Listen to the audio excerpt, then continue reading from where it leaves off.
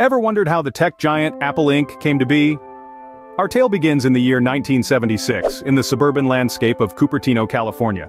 Three visionaries, Steve Jobs, Steve Wozniak, and Ronald Wayne, came together with a shared dream. They imagined a world where technology was not just accessible, but intuitive and user-friendly. A world where computers were for everyone, not just the elite few. Their first step towards this dream was the creation of Apple I, a personal computer kit, hand-built by Wozniak himself, it was a machine far ahead of its time, but it was not an easy path. The Apple I was not a ready-to-use computer, rather it was a kit that users had to assemble themselves. It was in essence a niche product, and the trio struggled to find their footing in the market. Yet, they did not falter. Their belief was unwavering, their resolve unyielding. They faced numerous challenges, from lack of funds to skepticism from industry veterans. Even their own families doubted their venture, but they persevered, driven by their shared vision and unshakable faith in what technology could do. And let us not forget Ronald Wayne, the oft-forgotten third co-founder. Though his stint with Apple was short-lived, Wayne played a crucial role in the early days. He designed the first Apple logo, wrote the manual for the Apple I, and drafted the partnership agreement that brought Apple Computer Inc. into existence. But just 12 days after the company's formation, Wayne sold his 10% share back to Jobs and Wozniak for a mere $800 a decision he might regret today, considering that share would be worth tens of billions. In those early days they worked out of Jobs' garage, fueled by passion and the dream of a future where technology was as common as the television. They were pioneers in a new frontier, visionaries who dared to dream big and work hard to make those dreams a reality. And thus, the seed of Apple was sown, poised to grow into the tech giant we know today. From a humble beginning, how did Apple climb the ladder to success? This is a question that invariably piques the curiosity of tech enthusiasts and casual observers alike. The answer lies in a series of calculated risks, innovative ideas, and a relentless pursuit of excellence. The Apple II, introduced in 1977, marked a significant milestone in Apple's journey. This machine, with its color graphics and open architecture, was not just a product, but a testament to Apple's vision. It heralded the dawn of the personal computer era, propelling Apple from the realm of hobbyists into the mainstream market. The Apple II was more than just a computer. It was a symbol of a digital revolution, a revolution that Apple was leading. However, as the company soared to new heights, internal conflicts started brewing. In 1985, a power struggle within the company led to the departure of Steve Jobs, one of its co-founders. This was a seismic event that shook the very foundations of Apple. Jobs was not just a founder, he was the soul of Apple, the driving force behind its innovative spirit. His departure marked a significant shift in the company's trajectory. Without Jobs' visionary leadership, Apple found itself in uncharted waters. The company began to lose its competitive edge, and for the first time, its future seemed uncertain. The products lacked the innovative spark that had once set Apple apart. The company was in dire straits, grappling with dwindling market share and a lackluster product lineup. But, as they say, with every crisis comes an opportunity. Apple's struggles were a wake-up call, a call to introspect and realign its strategies. It was a time of soul-searching, of redefining what Apple stood for and what it aspired to be. The departure of Jobs marked a tumultuous period for Apple, a time that would test its resilience.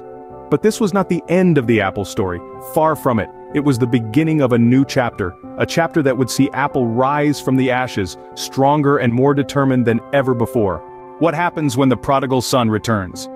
Imagine the year is 1997, a year that marked a turning point in the history of Apple. It was the year Steve Jobs, the prodigal son, made his return to the company he had co-founded more than two decades earlier. Now, let's rewind a bit. Jobs had been ousted from Apple in the mid-80s, leaving the company in a state of uncertainty. In the years that followed, Apple struggled to maintain its innovative edge. It was clear the company needed a guiding hand, a visionary leader to bring it back from the brink. So, who better than the prodigal son himself? With Jobs back in the fold, Apple experienced a renaissance of sorts. It was a time of revolutionary ideas and groundbreaking products that would redefine the tech landscape. One of the first products to emerge from this period was the iMac in 1998. With its distinctive design and powerful performance, the iMac became a beacon of Apple's renewed commitment to innovation. But Jobs wasn't done yet. The new millennium saw the birth of the iPod, a device that turned the music industry on its head. It was sleek, it was stylish, and it put a thousand songs in your pocket. Suddenly, the way we consumed music was changed forever. And then, in 2007, Jobs introduced the iPhone, a revolutionary product that combined a phone, an iPod, and an internet communicator all in one device. It was nothing short of a technological marvel, setting the standard for smartphones that followed. Jobs' return to Apple was not just about launching innovative products. It was a period of transformation that restored Apple's image as a pioneer in technology, a company that wasn't afraid to push the boundaries and redefine the rules. With Jobs back in the driver's seat, Apple was on its way to becoming a household name. How does a company cope with the loss of its visionary leader? That's the question that hung in the air after the passing of Steve Jobs in 2011. Jobs was more than just a CEO to Apple, he was its heart and soul. His passing left a void that needed to be filled. Enter Tim Cook, a man who had been with Apple for over a decade, serving as its chief operating officer. He was no stranger to the company's operations or its ethos. Cook took over the reins at a critical juncture in Apple's history, and he was tasked with continuing the legacy of innovation that Jobs had fostered. And let's make no mistake, Cook has more than risen to the occasion. He's led Apple through a period of remarkable growth, overseeing the launch of several groundbreaking products. The Apple Watch, for instance, has revolutionized the wearable technology market. It's a device that seamlessly blends style with functionality, much like Apple's other products. Then there's the HomePod, Apple's answer to the smart speaker market.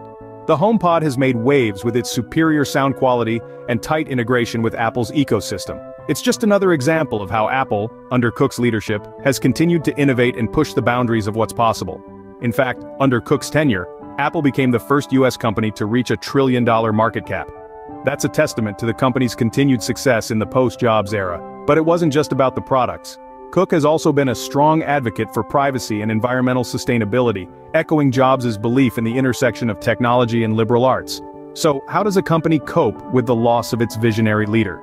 If Apple is any indication, it does so by staying true to its core values, by continuing to innovate, and by having a leader who understands and respects the company's legacy. Even without Jobs, Apple continued to push the boundaries of technology, cementing its place as a tech leader. Scene script. Think you know everything about Apple? Think again. Sure, we're all familiar with the shiny iPhones and the sleek MacBooks, but there's so much more to Apple than meets the eye. Let's start with a surprising fact. Did you know that the first iPhone was not actually the first phone made by Apple? That's right. Before the iPhone came the ROKR E1, a collaboration between Motorola and Apple, launched in 2005. It was essentially a phone with iTunes, a precursor to the smartphone era. However, it couldn't hold more than 100 songs, and it was painfully slow to transfer music. This venture didn't quite hit the mark, but it certainly paved the way for the iPhone we know and love today. Here's another fascinating fact. In the late 90s, Apple was on the brink of bankruptcy. Yes, you heard that right. Apple, the tech giant was once close to going under. It was the launch of the iPod in 2001 that turned the company's fortunes around. This small device, capable of holding a thousand songs in your pocket, revolutionized the music industry and set Apple on the path to becoming one of the wealthiest corporations in the world. And have you ever wondered about the Apple logo, the bitten apple? The bite is there for a reason. It's not a reference to the biblical tale of Adam and Eve as some might think. It's actually quite practical. The bite was added so that people wouldn't mistake it for a cherry or a tomato. That's right, the iconic logo is as much about clarity as it is about design. Apple's journey is a testament to the power of innovation and resilience a journey that continues to surprise and inspire us.